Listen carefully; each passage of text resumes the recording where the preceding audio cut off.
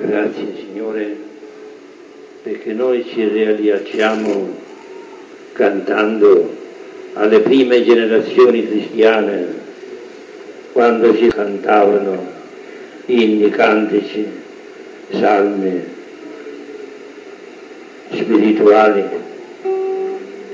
Ci rilasciamo al popolo della lode, come è detto nel rapporto ufficiale di Plinio il giovane all'imperatore all'inizio del secondo secolo.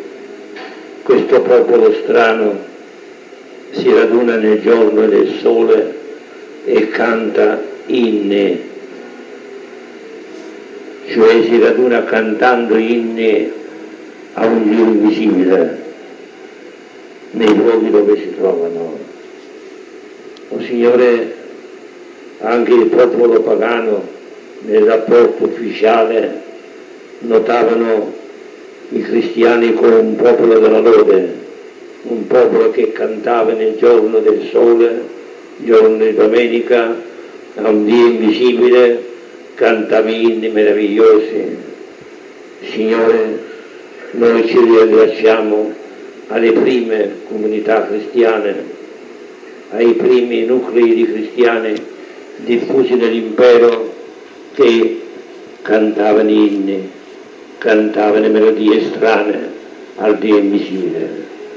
Signore, erano i canti carismatici che fiorivano prima che venissero le forme così, le forme liturgiche dei canti, erano i canti carismatici spontanei che fiorivano dalla bocca dei cristiani noi ci rilasciamo alle prime generazioni cristiane e vogliamo continuare la nostra lode in questo popolo pagano, in questo mondo di paganesimo. Vogliamo cominciare di nuovo a cantare, a lodare, benedire, dove si è sborsato il canto delle creature che dovrebbero cantare al loro Signore, dove gli uomini si sono dimenticati di te e cantano ad altri dei noi vogliamo cantare a te, unico vero Dio, con cantici spirituali e le nostre assemblee sono assemblee di popolo che adorano Dio, lodano il proprio Signore. Alleluia.